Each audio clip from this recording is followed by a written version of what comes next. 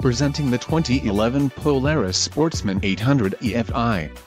This ATV is ready for the off-road. It's designed to take on the most challenging up terrain. Financing options are also available for qualified buyers. For more details on this unit's features and options, follow the link in the description below.